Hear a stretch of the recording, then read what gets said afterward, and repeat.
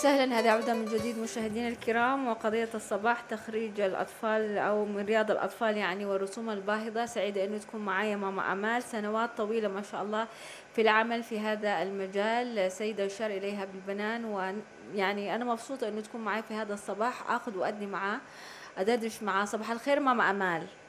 صباح النور. إزيك؟ إن شاء الله كويسة. الحمد لله. الله يخليك يا رب. الله يكرمك. تسلم.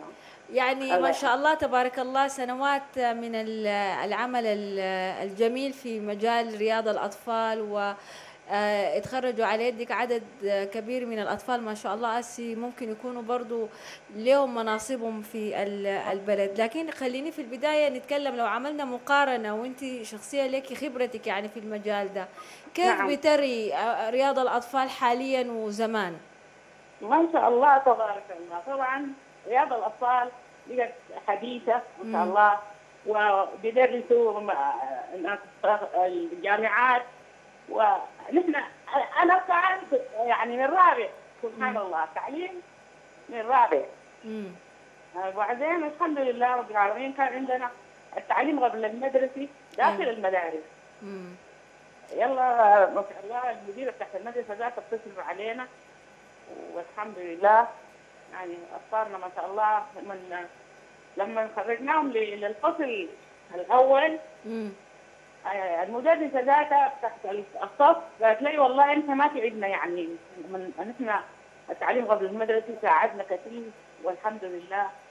يلا بيجي يخرجوهم قاعدين يعني نكتبهم نحفظهم. أيوه. إن شاء الله الاناشيد والقران والاحاديث ما شاء الله تبارك الله. نعم. يعني الحمد لله رب العالمين. الله كانوا يعني وياك حلوة جدا جدا. طيب حاليا حاليا ال ال ال ال الأستاذة اللي بتدرس في رياض الأطفال أو هي موجودة في رياض الأطفال لازم تكون متخصصة. يعني هي ذاتها متخرجة من رياض اطفال وعشان تعرف تتعامل مع مع الأطفال. في فترتكم نعم. أول فترة اللي انت كنت فيها ربنا يديك الصحة والعافية. هل برضو كان آه يعني يشترط إنه الوحدة تكون خريجة رياض أطفال؟ ولا بحنكتها وحكمتها بتعرف تتعامل مع الأطفال. والله بحكمتنا ودخلونا دخلونا كورس بتاع تجويد ضمن المدارس يعني عشان ندرس الأولاد في التجويد. وعندنا يعني كتب بتاعت الاولى بناخذ منها مثلا الحروف الأعداد كده يعني مليون خرافات وبنكتبهم فيها ما شاء الله. ماشيين يعني الحمد لله يعني لكن ما ما ما في تفريج مني. أيوه. أيوه. طيب اسي أسي ماما أمال في موضوع إنه الطفل عشان يتخرج لازم نعم. يدفع مبلغ كبير. زمان نعم. ما أظن في حاجة زي دي. رأيك أنت في النقطة دي شنو؟ يعني ممكن الأب والأم يكسروا ظهرهم عشان ما يكسروا نفس ولدهم أو بنتهم الصغيرة والصغيرة ويدفعوا مبلغ كبير مية ألف حاجة ما سهلة يعني. كثير جدا والله. ونحن حصل يعني أيوه تناقشنا في الكلام ده. إحنا عندنا أولاد بنتي وأولاد ولدي كلهم يعني الحمد لله ذهبت يعني ما شاء الله واحد في ثامن وعندي واحدة دخلت الجامعة. ما شاء الله. كلهم ده أيوه خرجناهم لكن ما بالعدد ده يعني. ما بالمبلغ ده. أيوه. يعني الحمد لله يا رب العالمين. لكن إحنا ما كنا قاعدين نفكر رسوم والله.